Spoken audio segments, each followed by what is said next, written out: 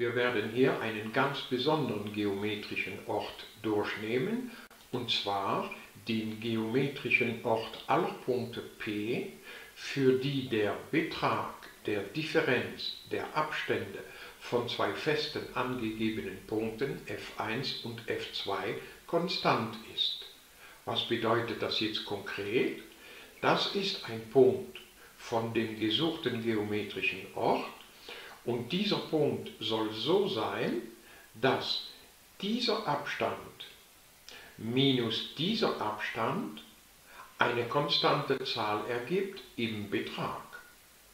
Wieso im Betrag? Das bedeutet hier zum Beispiel, wenn man 5 minus 3 rechnet, so erhält man 2 und der Betrag von 2, das ist 2. Wenn wir aber die 3 minus die 5 rechnen, so erhalten wir minus 2. Und der Betrag von minus 2 ist auch 2. Deshalb sagt man hier, es soll der Betrag der Differenz der zwei Abstände sein. Das heißt, dieser Abstand minus dieser Abstand soll eine konstante Zahl sein im Betrag.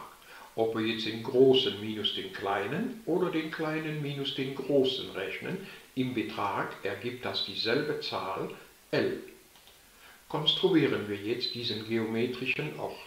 Wir nehmen zwei Kreise, einen Kreis mit Zentrum F1 und mit Radius dieser Größe und den zweiten Kreis mit Radius dieser Größe. Und wenn wir von dem großen roten Radius hier den kleineren blauen Radius abziehen, so bleibt diese Zahl übrig. Also dieser Abstand minus dieser Abstand, das ist diese Zahl L. Da, wo die beiden Kreise sich schneiden, müssen also Punkte des gesuchten geometrischen Ortes sein. Denn, nochmal, diese Distanz minus diese Distanz ergibt die Zahl im Betrag. Ob wir jetzt die große minus die kleine machen oder die kleine minus die große. Im Betrag ergibt das dieselbe Zahl L. Also sind diese zwei Schnittpunkte der beiden Kreise Punkte des geometrischen Ortes, den wir suchen. Machen wir die Kreise jetzt weg und jetzt wählen wir wieder zwei Kreise mit den Radien so eingestellt, dass der rote Radius minus der blaue Radius wieder diese Zahl L ergibt. Da, wo die beiden Kreise sich schneiden, also da und da, das müssen Punkte des geometrischen Ortes sein. Dann nehmen wir die Kreise weg und wählen jetzt zwei andere Radien, roter Radius minus blauer Radius, die sind noch da oben dargestellt. Der rote Radius minus der blaue Radius ergibt wieder diese konstante Zahl L. Da, wo diese beiden Kreise sich schneiden, das müssen Punkte dieses geometrischen Ortes sein. Kreise weg. Wir haben hier schon 1, 2, 3, 4, 5, 6 Punkte des Ortes konstruiert und dann machen wir das auch weiter. Wir wählen zwei Radien genau so, dass der rote minus der blaue diese konstante Zahl L ergibt. Somit konstruieren wir diese zwei Kreise. Da, wo die sich schneiden, müssen Punkte des Ortes sein. Kreise weg. Nochmal zwei solche Kreise und hier diese zwei Kreise schneiden sich in einem einzigen Punkt, das ist hier der Berührungspunkt, weil die beiden Kreise außen tangent sind. Schnittpunkt von den Kreisen ist da, Kreise wieder weg. Bisher hatten wir immer den linken Radius größer genommen als den rechten Radius. Jetzt machen wir es andersrum. Jetzt nehmen wir den rechten Radius größer als den linken. Sie sind aber immer noch so gewählt, sodass der blaue, der große blaue, minus der rote, der kleine rote, diese konstante Zahl L ergibt. Da, wo die beiden Kreise sich schneiden, müssen Punkte des geometrischen Ortes sein. Kreise weg, andere Kreise hin, Schnittpunkte, Kreise weg und so weiter. Kreise hin, Schnittpunkte, Kreise weg. Kreise hin, Schnittpunkte, Kreise weg. Ein letztes Mal. Hier sind die Radien so eingestellt, dass diese Kreise wieder außentangent zueinander sind, sodass sie sich nur in diesem Punkt schneiden. Und die Radien sind trotzdem so, dass der blaue Radius minus der rote Radius diese Zahl L ergibt. Also erhalten wir auch da einen Punkt des gesuchten geometrischen Ortes. Je nach diesen erhaltenen Punkten hier können wir schon erahnen, dass der geometrische Ort eine Hyperbel ist. Was ist denn nun eine Hyperbel? Eine Hyperbel H, das ist der geometrische Ort aller Punkte P, für die der Betrag der Differenz der Abstände von zwei festen angegebenen Punkten f1 und f2 konstant ist. Genauso wurden all diese Punkte konstruiert. Diese zwei angegebenen Punkte f1 und f2 nennen wir die Brennpunkte der Hyperbel. Solche hyperbelförmige Linien entstehen zum Beispiel durch die Interferenz zweier gleichphasigen Kreiswellen, wie hier an einer Wasseroberfläche. An diesem Punkt entsteht eine Kreiswelle, an diesem Punkt auch. Und an dieser Wasseroberfläche können wir hier deutlich hyperbelförmige Linien erkennen, die durch die Interferenz dieser zwei Wellen entstehen. Genauso wird nämlich eine Hyperbel konstruiert. Wir möchten jetzt von solch einer Hyperbel zuerst einmal eine kartesische Gleichung erstellen und anschließend auch noch die kartesische Gleichung der Tangente an einem Hyperbelpunkt. Genau das werden wir jetzt hier in Angriff nehmen. Zuerst die kartesische Gleichung einer Hyperbel. Angegeben sind also die zwei Brennpunkte der Hyperbel und diese konstante Zahl, die wir eben L genannt hatten, zur kartesischen Gleichung der Hyperbel nennen wir diese Zahl 2 mal a, woraus wir also schließen können, dass a eine streng positive Zahl sein muss. So entsteht diese Hyperbel als geometrischer Ort aller Punkte P, für die der Betrag der Differenz von diesen zwei Abständen die konstante Zahl 2a ergibt. Jetzt wählen wir ein Bezugssystem. Den Ursprung setzen wir genau in der Mitte von der Strecke f1 und f2. So. Und wir wählen die x-Achse so, dass sie diese zwei Brennpunkte enthält.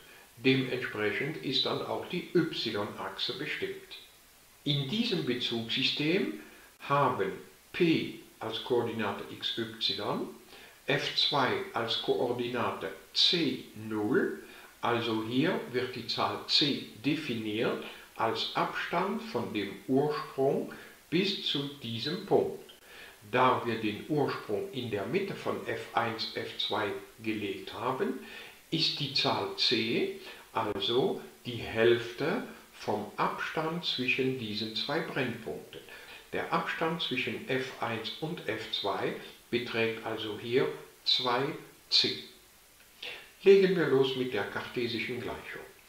Solch ein Punkt P mit Koordinate xy gehört zu dieser Hyperbel, das bedeutet durch die Definition, dass der Betrag der Differenz der zwei Abstände von diesem Punkt P zu f1 und f2 eine konstante Zahl ergibt, die wir 2a genannt haben. Wenn der Betrag von dieser Differenz 2a ist, dann bedeutet das, dass diese Differenz entweder 2a ist oder minus 2a ist. Ich schreibe es mal hin. Ein konkretes Beispiel. Wenn der Betrag von einer Zahl 8 ergibt, dann muss die Zahl selbst entweder 8 oder minus 8 sein, denn nur der Betrag von 8 und der Betrag von minus 8 ergibt 8. Also hieraus können wir schließen, dass die Zahl selbst entweder plus 2a ist oder minus 2a ist. der Abstand zwischen zwei Punkten wird durch Pythagoras so berechnet. Hier geht es um P und F1. Hier zwischen Klammern schreiben wir also die Differenz der Abszissen dieser zwei Punkte. Es geht um P und F1. Die Abszissen sind x und minus c. Ihre Differenz ist also x minus minus c, das heißt x plus c. Die Ordinaten sind y und 0. Ihre Differenz ist also y minus 0, das heißt y. Die zweite Distanz ist hier schon rechts rüber gesetzt worden, also mit einem Plus versehen. Und der Abstand zwischen p und f2 berechnen wir genau wie eben. Abszisse minus Abszisse im Quadrat plus Ordinate minus Ordinate im Quadrat und von der Summe dieser zwei Quadrate rechnen wir die Quadratwurzel. Genau wie bei der Ellipse werden wir jetzt versuchen, diese zwei Quadratwurzeln loszuwerden. Das erreicht man, indem man beidseitig im Quadrat erhebt, aber diese Quadratwurzel wird wegen dem Doppelprodukt noch übrig bleiben. Rechnen wir zuerst einmal das Quadrat von beiden Seiten. Das Quadrat von dieser Quadratwurzel, das ist der Radikant. Dieser Radikant wurde ausgerechnet durch binomische Formel a plus b im Quadrat, das ergibt a plus b plus 2ab. Und y wurde einfach abgeschrieben. Jetzt hier rechts. Vorsicht, wir müssen das Quadrat von dem Ganzen hier rechnen. Das heißt, wir rechnen das Quadrat von dieser Zahl, steht da, plus das Quadrat von dieser Zahl steht von da bis da, indem wir den Radikanten wieder ausgerechnet haben.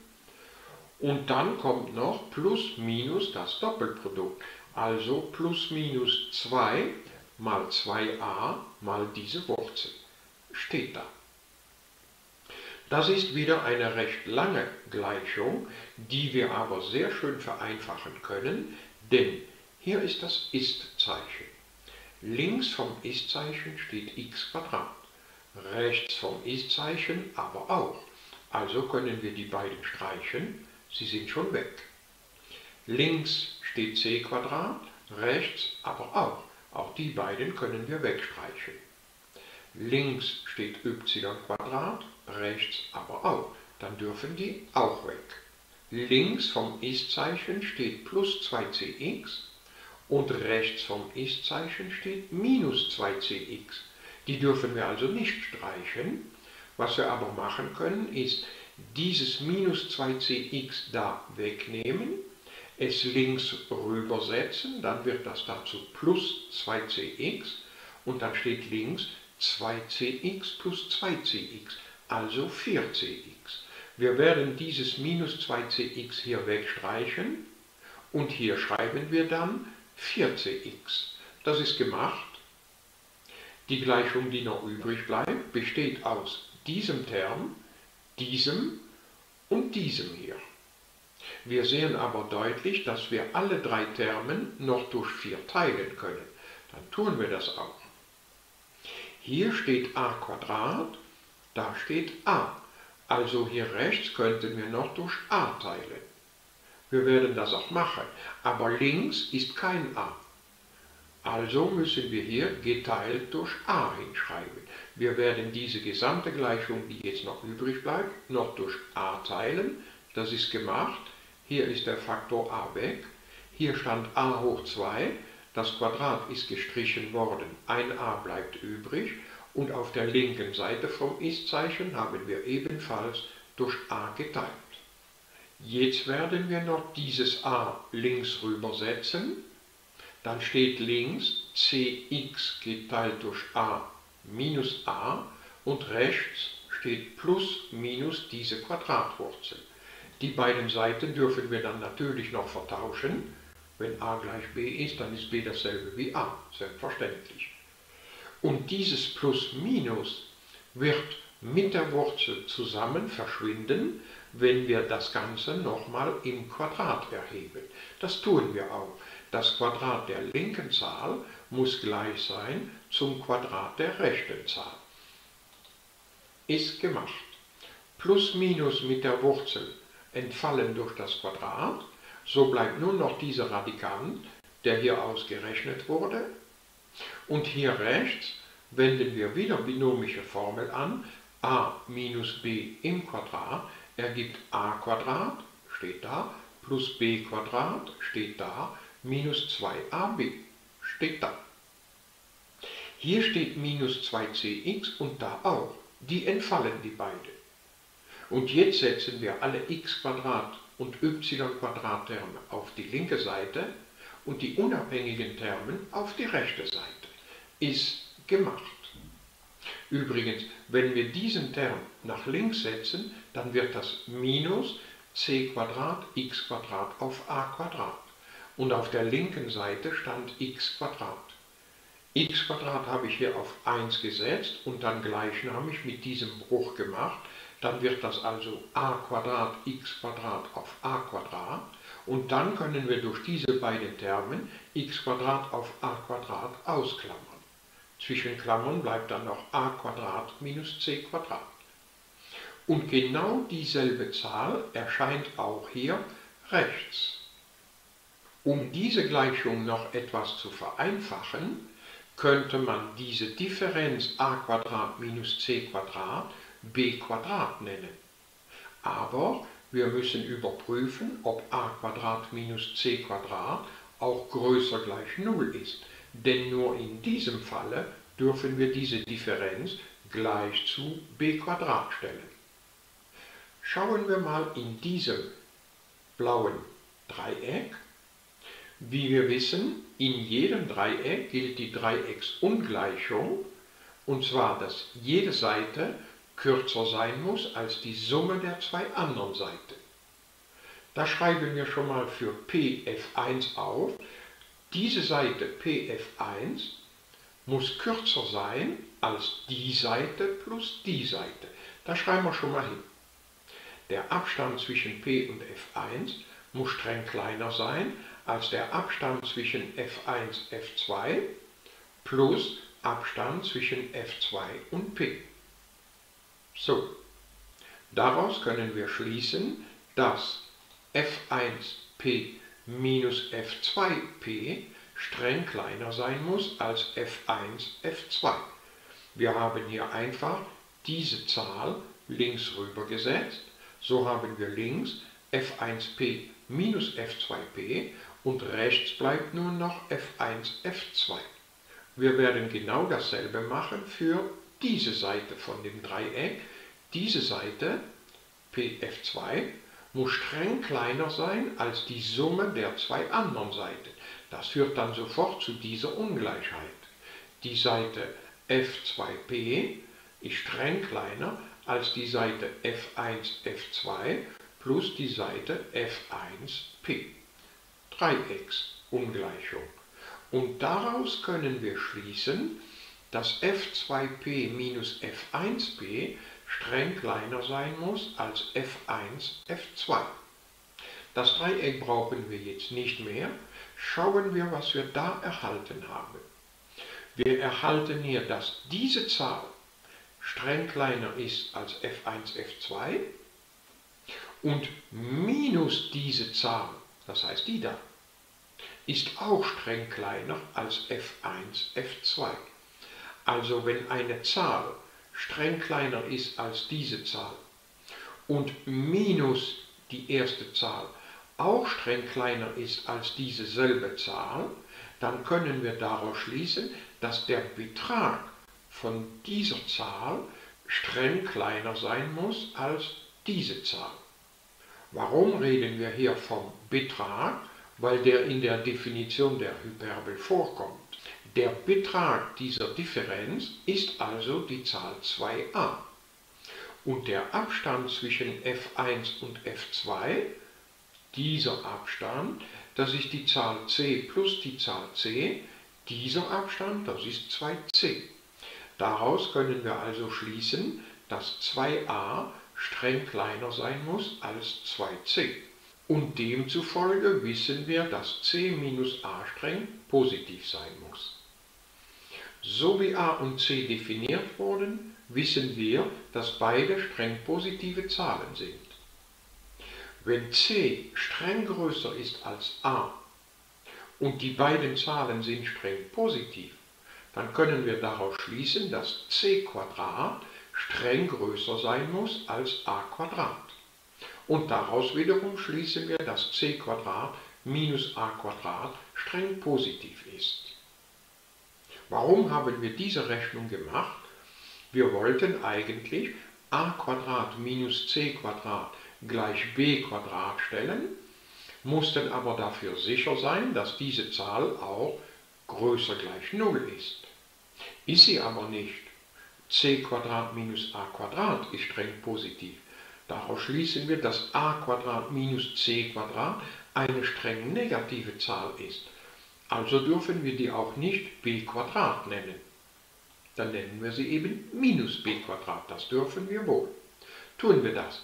Wir nennen also die Zahl c minus a gleich b das heißt a minus c ist minus b und wir dürfen von dieser Zahl b verlangen, streng positiv zu sein. Wie sieht dann unsere Gleichung hier aus? Diese Gleichung wird dann zu minus b x auf a plus y gleich minus b Die Gleichung sieht dann so aus. Und diese Gleichung werden wir jetzt noch durch minus b teilen und wir sind sicher, dass wir das dürfen, weil b ja nicht 0 ist. b ist streng positiv. Also ist b auch streng positiv und minus b ist streng negativ. Auf jeden Fall nicht 0. Also dürfen wir teilen und erhalten so die kartesische Gleichung in dem so gewählten Bezugssystem. Die ist sehr einfach zu behalten. Wir halten sie auch hier sofort fest und erkennen jetzt schon, die ist ungefähr gleich zur Ellipsengleichung. Nur bei der Ellipse steht hier ein Plus und bei der Hyperbel steht zwischen den zwei Brüchen ein Minus. Behalten wir auch den Zusammenhang zwischen a, b und c b das ist c minus a Ich setze hier noch dieses minus a links rüber, so dass der Zusammenhang am Satz des Pythagoras erinnert. Halten wir das schon mal so fest. Machen jetzt Platz für Folgendes. Um die Zahlen a und b besser deuten zu können, bestimmen wir die Schnittpunkte der Hyperbel mit der x-Achse und diese Schnittpunkte da und da müssen als Koordinate minus a0 und a0 haben. Wieso?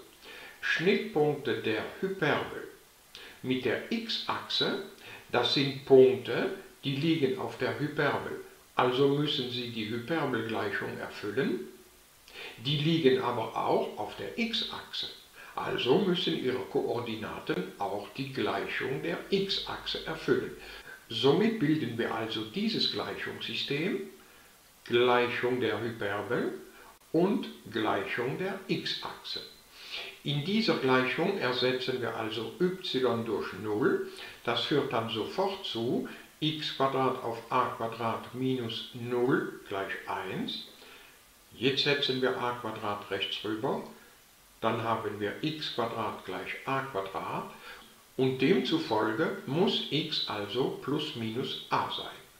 Woraus wir also schließen, dass die Hyperbel die x-Achse in diesen zwei Punkten schneidet. Dieser Punkt hat als Koordinate a0, wir wissen ja, dass a eine streng positive Zahl ist, und dieser Punkt hat als Koordinate minus a0. Durch diesen Abstand a können wir effektiv schön testen, dass diese Distanz hier a ist und diese Distanz ist ebenfalls a durch die Symmetrie. Okay, dann versuchen wir noch Schnittpunkte mit der y-Achse zu bestimmen. Aber schon in der Zeichnung sehen wir, dass da überhaupt keine sind. Die Bestimmung Schnittpunkte mit der y-Achse wird also nicht zur Zahl b führen, wie das bei der Ellipse war. Wir überprüfen trotzdem diese Erkenntnis algebraisch. Hyperbelgleichung, Gleichung der y-Achse. In der Hyperbelgleichung können wir x sofort durch 0 ersetzen und das führt dann sofort zu 0 minus y auf b gleich 1. Woraus wir also schließen, dass minus y gleich b sein muss. Diese Gleichung hier wäre nur möglich, wenn y und b beide gleich 0 wären. b ist aber nicht 0. b ist eine streng positive Zahl, wie wir eben bestimmt haben. Also ist diese Gleichung unmöglich in der Menge R. Diese Berechnung hier führte also nicht zur geometrischen Deutung der Zahl b, wie das bei der Ellipse der Fall war. Halten wir trotzdem hier fest, dass wir die geometrische Deutung von c kennen, denn c ist der Abstand zwischen Ursprung vom Bezugssystem und Brennpunkt. Brennpunkt rechts sowie natürlich auch Brennpunkt links. Diese Hyperbel ist nicht der Graph einer Funktion, denn durch dieses Hyperbelgesetz würde zum Beispiel dieser Zahl eine Zahl zugeordnet und eine zweite Zahl zugeordnet. Eine Funktion ordnet jede reelle Zahl aber höchstens eine reelle Zahl zu, niemals zwei. Also ist solch eine Hyperbel nicht der Graph einer Funktion. Eine Hyperbel besteht aber aus zwei Funktionsgraphen. Und um diese Funktionen herauszufinden, nehmen wir die Hyperbelgleichung und lösen die nach y auf. Zuerst wurde sie hier nach y aufgelöst, ist gemacht, und jetzt wird noch dieses Quadrat rechts rübergesetzt, wo es zu plus minus Quadratwurzel wird.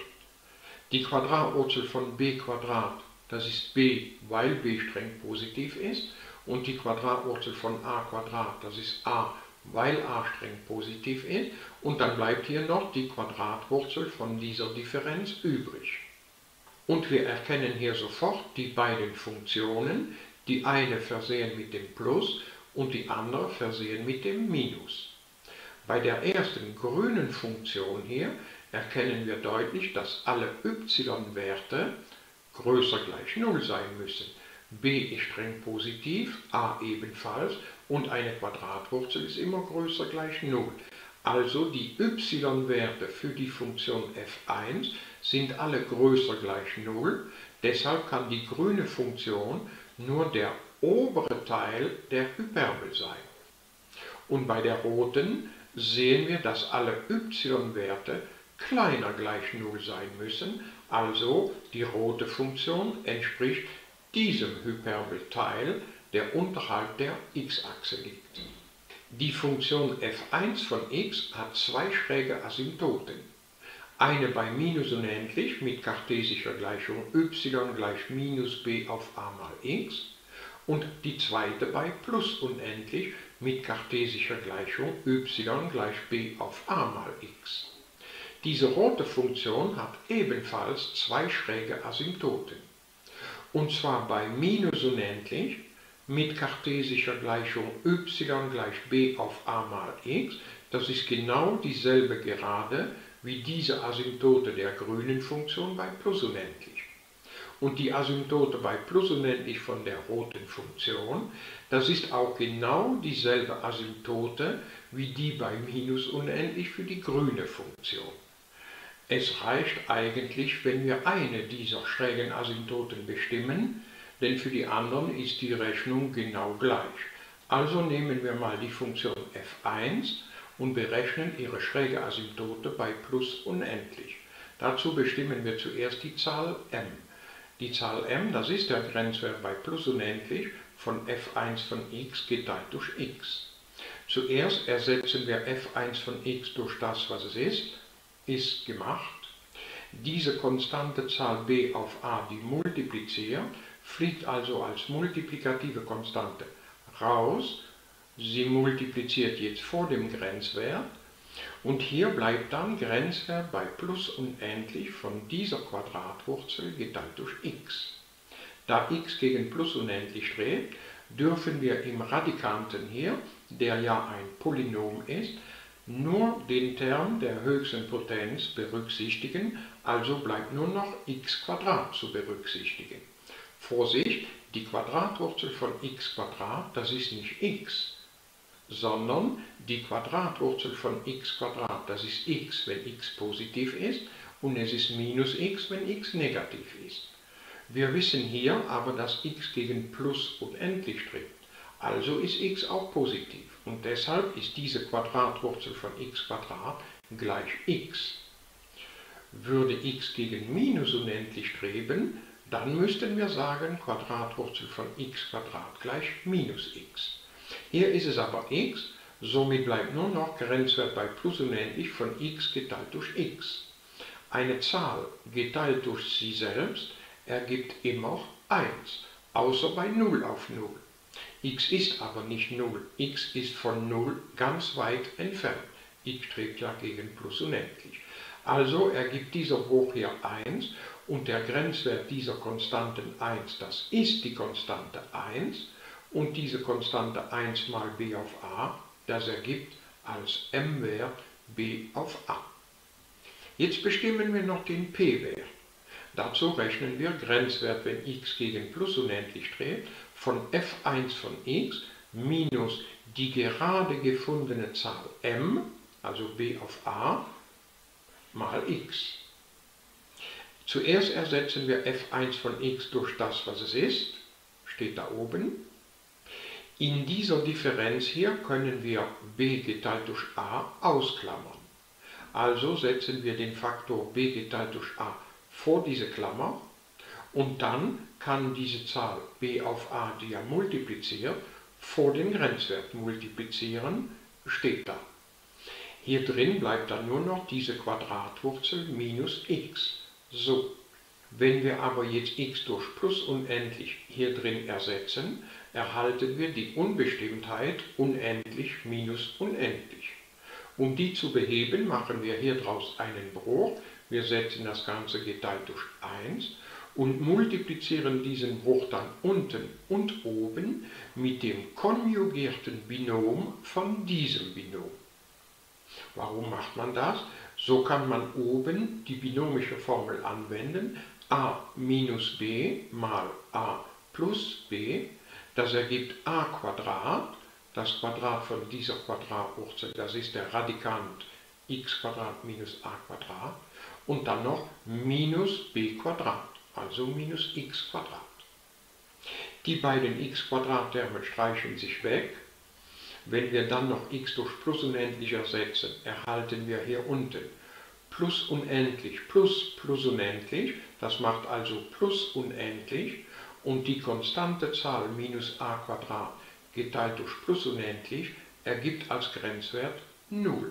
Somit erhalten wir also für die Funktion f1 bei plus unendlich die schräge Asymptote mit kartesischer Gleichung y gleich m mal x plus p. Also y gleich m b auf a mal x plus p plus 0. Das heißt y gleich b auf a mal x. Die Funktion f1 hat bei plus unendlich die schräge Asymptote mit kartesischer Gleichung y gleich b auf a mal x. Die drei anderen Asymptoten rechnen sich auf gleicher Weise. Also lassen wir die Rechnung mal kurz weg und deuten jetzt diese Asymptoten. Dazu zeichnen wir zuerst einmal die Zahl b. Wir kennen a und wir kennen c. Durch diese Formel kennen wir also auch den Wert von b. Der wird auch häufig durch die kartesische Gleichung der Hyperbel angegeben. So können wir also leicht den Punkt mit Koordinate AB einzeichnen. A, B. Davon zeichnen wir das Spiegelbild durch die y-Achse, davon das Spiegelbild durch die x-Achse und hiervon auch das Spiegelbild durch die x-Achse. Und so erhalten wir dieses gelbe Rechteck. Jetzt braucht man nur noch die Diagonalen zu verlängern und somit erhalten wir sehr einfach diese zwei schrägen Asymptoten. Das sind diese hier. Hier sind es zwar vier, aber das ist dieselbe wie die und das ist dieselbe wie die. Also insgesamt haben wir nur zwei Asymptoten zu konstruieren. Hier sehen wir also deutlich die Deutung von a. a, das ist diese Zahl da, von O bis zu dem Schnittpunkt hin. Und wir sehen auch die Deutung von b. Das hier oben ist doch die Beziehung zwischen Hypotenuse und Katheten in einem rechtwinkligen Dreieck. Die Kathete A ist hier eingezeichnet, die Kathete B ist da eingezeichnet, also eignet sich dieses blaue Dreieck, um die Hypotenuse C zu zeichnen. Aber die Zahl C, das ist der Abstand zwischen Ursprung vom Bezugssystem und Brennpunkt. Diese Strecke hat also als Länge c. Jetzt setzen wir den Punkt T da oben hin, genau am Punkt mit Koordinate 0b, so, und jetzt drehen wir diesen Punkt R um den Punkt T, ähnlich wie mit einem Zirkel, und stellen effektiv fest, dass die Hypotenuse von diesem Dreieck genauso lang ist wie der Abstand zwischen Ursprung vom Bezugssystem und Brennpunkt. Übrigens, die Zahlen a und c habe ich hier als Schieberegler eingezeichnet. Wir können also a und c schön verändern. Schauen wir, wie sich dann die Hyperbel mit verändert. Wenn wir a vergrößern, dann bedeutet das, dass dieser Abstand hier größer wird. Machen wir das mal. Das stimmt.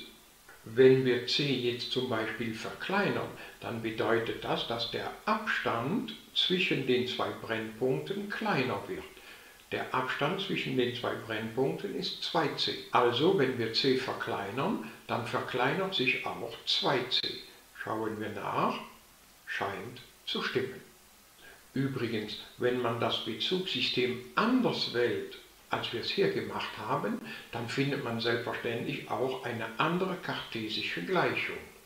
Wenn man das Bezugssystem so wählt, dass f1 diese Koordinate hat und f2 diese Koordinate hat und dass die Länge L 2 mal Wurzel 2 ist, das bedeutet, dass a gleich zu Wurzel 2 ist, dann findet man als Hyperbel Gleichung diese da.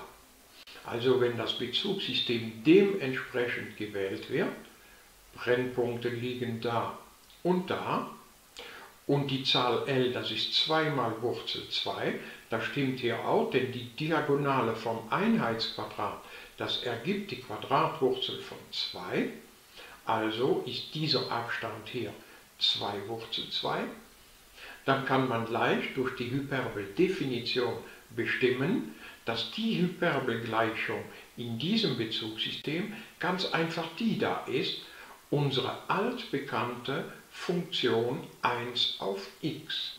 Jetzt möchten wir noch die kartesische Gleichung der Tangenten an einem Hyperbelpunkt bestimmen und genau das nehmen wir hier in Angriff. Wir haben am Anfang unsere Hyperbel mit den zwei Brennpunkten und das Bezugssystem ist so gewählt worden, dass die kartesische Gleichung so einfach aussieht. Jetzt nehmen wir einen Hyperbelpunkt und möchten die kartesische Gleichung der Tangenten an diesem Hyperbelpunkt bestimmen. Dazu zuerst einmal, wenn der Punkt P mit Koordinate mn zu der Hyperbel gehört, dann muss diese Koordinate die Hyperbelgleichung erfüllen. Was bedeutet, wenn der Punkt zur Hyperbel gehört, dann muss m auf a minus n auf b gleich 1 sein. Wir lösen diese Gleichung nach n auf, ist gemacht, Und jetzt setzen wir noch das Quadrat rechts rüber. Das wird dazu plus minus Quadratwurzel. Die Wurzel aus b das ist b, weil b ja streng positiv ist.